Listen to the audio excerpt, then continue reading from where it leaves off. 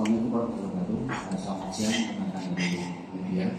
Dan adanya kita melaksanakan kasus rilis hari ini uh, tentang uh, tindak pidana penganiayaan terhadap anak. Uh, di mana dari awal uh, laporan polisi yang kita terima yaitu pada tanggal 21 Agustus 2023 uh, melapor yaitu yang meyakini sebagai uh, Sigit Sudibyo dan korban berinisial RF uh, pada waktu kejadian uh, hari Senin pada tanggal 7 Agustus 2023 pukul uh, 11 malam atau 23.00 uh, yang terjadi di rumah terlapor dalam di Jalan Mangkunegaran RT 76 RW 18 Parambahan Keraton Kota Yogyakarta uh, dan sebagai tersangka atau terlapor uh, yang berinisial berinisial MGP. Sedikit saya jelaskan uh, kronologis kejadian. Uh, pada hari Senin tanggal 7 Agustus 2023 sekitar pukul 22 eh, korban RF bersama saksi RD datang ke rumah pelaku eh, MGP di Jalan Mangkunegaran RT 76 RW 18 Tambahan Keraton Kota Yogyakarta. Dalam kondisi eh, setelah makan buah kecubung kemudian sekitar pukul 23.00 pelaku memberi susu berben kepada korban dan saksi RD. Namun oleh korban malah dibuang sehingga pelaku emosi. Pelaku kemudian menganiaya korban dengan memakai sebuah kabel eh, kabel USB. Setelah itu dan gagang sapu dari kayu untuk memukul korban sambil uh, disuruh berdiri. Sekira pukul 3.00 pelaku tertidur dan korban Saksi RD juga tidur tidur di kamar pelaku pada hari Selasa tanggal 8 Agustus 2023 pukul 5 saksi RD membawa korban pulang ke rumah. Uh, setelah di rumah pada pukul 10 korban dibawa keluarga menuju ke RS Hidayatullah Kubularjo dan menjalani menjalani opname sampai tanggal 12 Agustus 2023 sekiranya uh, di rumah sakit 5 hari.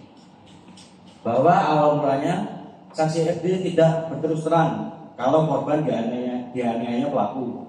Karena saksi RD diancam oleh pelaku supaya tidak membocorkan atau menceritakan kepada siapa pun. Kemudian beberapa hari kemudian eh, saksi RD cerita kepada keluarga korban terkait kejadian yang sebenarnya. Maka selanjutnya keluarga korban eh, membuat laporan ke Polresta Jakarta dan selanjutnya pelaku ditangkap di rumahnya dan saat ini pelaku sudah ditahan di rutan Polres Jakarta. Untuk barang bukti yang kita sita dari uh, pelaku yang di rumah pelaku yaitu berupa kabel USB hitam panjang 80 cm. 80 cm.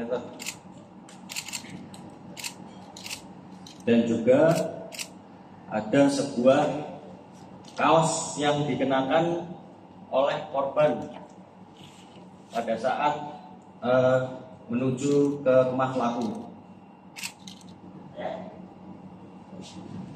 Selanjutnya ini gagang sapu yang digunakan oleh pelaku untuk uh, memukul korban.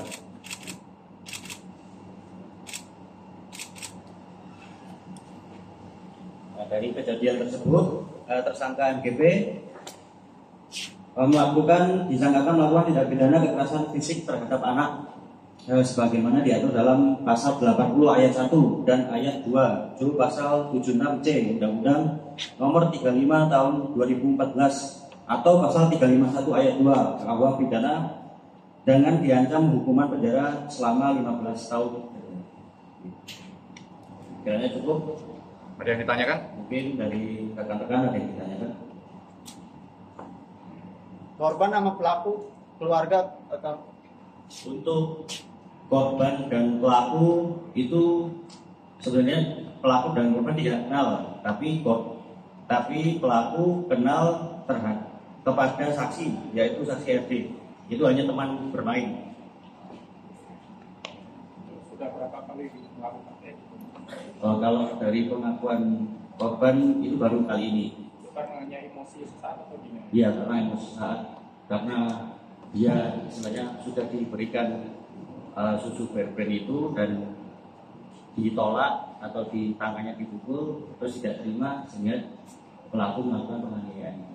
korban sering main ke tempatnya pelaku.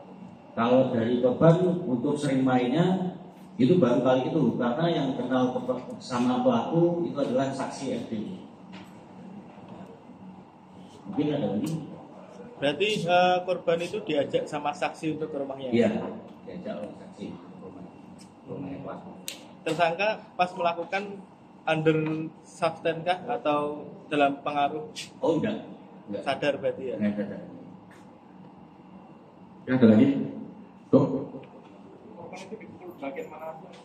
Untuk kor untuk korban dipukul pada saat berdiri dan dipukul pada bagian tangan, punggung, dan eh, perut perut bagian bawah.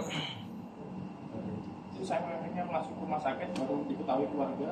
Setelah itu atau gimana? Setelah dari rumah pelaku dibawa oleh saksi FD pulang rumah sehingga dengan keluarga langsung dibawa ke rumah sakit Hidayatullah. Nah itu diketahui sama keluarga. Ya. Itu korban mabuknya di mana? Untuk korban dengan saksi itu masih kita dalami. Itu sebelumnya bu- bukan mabuk karena terpengaruh makan buah kecubung itu tadi. Iya. Ya. Oh. Tapi bukan di rumah. Bukan, sebelumnya bukan bukan. Oke, cukup ya. Cukup ada lagi yang ditanyakan? Cukup?